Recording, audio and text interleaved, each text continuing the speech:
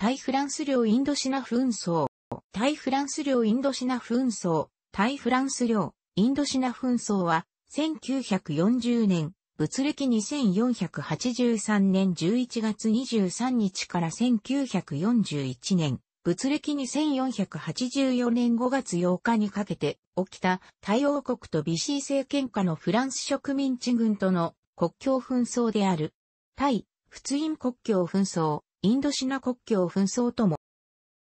第二次世界大戦勃発直前の1939年8月、フランスは対王国に対して不可侵条約の締結を要請していた。これは、フランス領インドシナ、以後、仏印の安全を図るためであり、翌1940年6月12日に、バンコクにおいて、フッツ体操後不可侵条約に調印した。しかし、フランスがドイツに敗れたこと、ドックフツ休戦、1940年6月17日、前に、フランスが不可侵条約を批准していなかった子、日本軍による仏印進駐が迫っていたことなどの状況から、タイは給料回復への行動を開始した。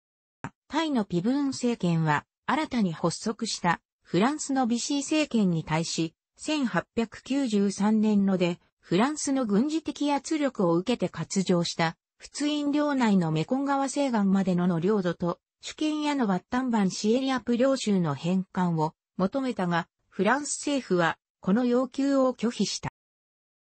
日本の同盟国であるドイツによるフランス本土占領と新独のビシー政権の樹立を受けて日本軍が北部仏印進駐を行ったため、日本と友好関係にあったタイにとっては、日本軍が南部仏印にまで進駐してしまうと、領土要求が難しくなるという懸念が生まれていた。当時のタイ政府は、あくまで強硬な姿勢を貫き、9月頃より国境付近で両軍による小競り合いが頻繁に発するようになった。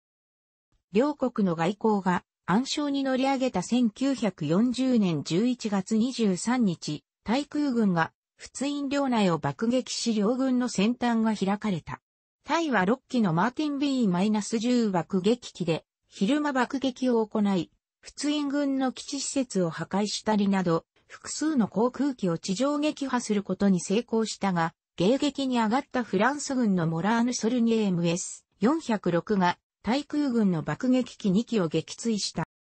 これに対して、仏印軍は4機のファルマン海221や6機のポテーズ542など、計10機が夜間爆撃を行った。仏印空軍はこれにより、対空軍の戦闘機、爆撃機に被害を出すことに成功したが、迎撃に上がった対軍の戦闘機や高射砲部隊がフランス軍の MS406 戦闘機2機と海221爆撃機1機を撃墜した。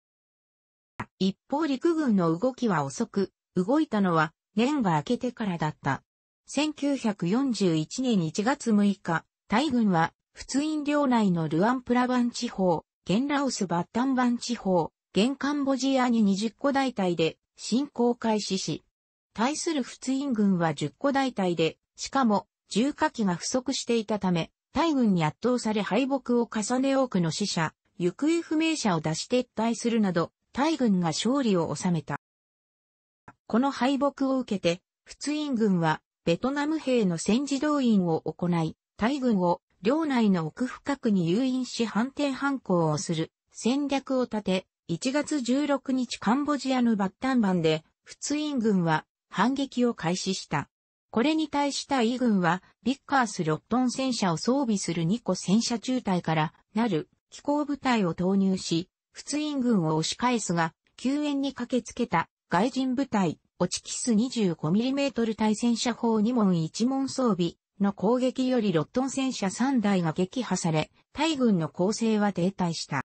この反撃をきっかけに、仏印軍は対軍を一時的に押し戻したものの、物量に勝る大軍は、フランス軍に対して、さらなる攻撃を加え、本国が占領下に置かれ兵士の追加も、ままならない、フランス軍は多くの戦死者や負傷者を出すこととなった。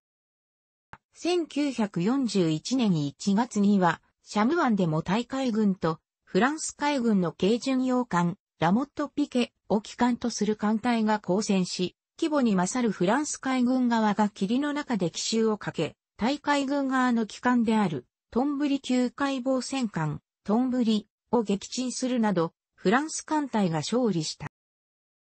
カンボジア上空では、仏印軍の戦闘機 MS-406 と対空軍のカーチス P-36 戦闘機による空中戦が行われ、P-36 戦闘機2機が MS-406 に撃墜された。だが、仏印側も対空軍の空襲により、MS-406 戦闘機2機と爆撃機ファルマン海211、1機を損失するなど、大きな損失をかぶった。